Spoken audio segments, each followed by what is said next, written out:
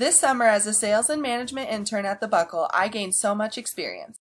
First starting off, I was training, of course, learning the denim, learning the brands, and generally learning how to be a sales associate.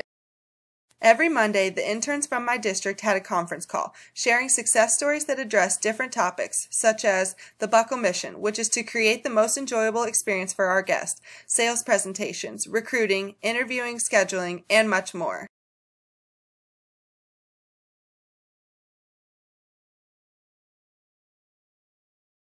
Buckle believed that self-reflection and feedback was a great way to learn, so at the end of each day I sent an email recapping my shift. I later received the emails as a reminder of my time and growth there.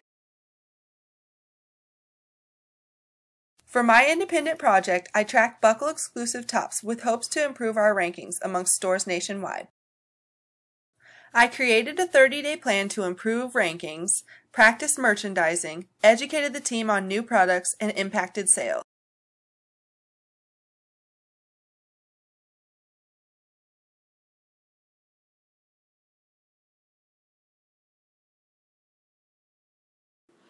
At the end of the project, I could actually see my results. From my efforts, two of the three Buckle exclusive tops improved their rankings. Seeing results in this project and myself this summer, I've learned so much. Overall, to conclude my experience, I learned essential team working skills, how to work in a corporate business environment, customer relations and networking, hitting financial quotas for the store, and development of managerial delegation skills. Thanks for watching.